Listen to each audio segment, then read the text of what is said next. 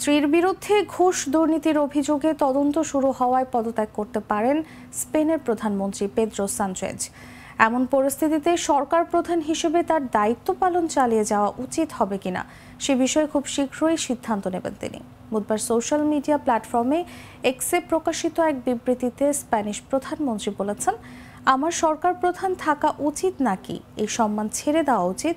সে বিষয়ে সিদ্ধান্ত নেওয়ার জন্য থামতে ও ভাবতে হবে।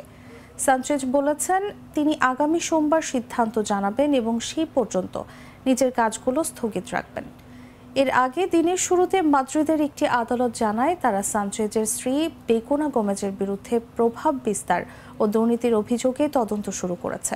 তার বিরুদ্ধে এই সংক্রান্ত অভিযোগ দায়ের করেছে মানুস লিম্পিয়াস নামের একটি দুর্নীতি বিরোধী সংগঠন। এর কয়েক ঘণ্টা আগে অনলাইন নিউজ সাইট এল কনফিডেন্সিয়ালের এক প্রতিবেদনে বলা হয়, সরকারি বরাদ্দ পেয়েছে বা চুক্তি জিতেছে এমন বেশ কয়েকটি বেসরকারি সংস্থার সঙ্গে বেগুনা গোমেজের সম্পর্ক থাকার অভিযোগ খতিয়ে দেখছেন তদন্তকারীরা।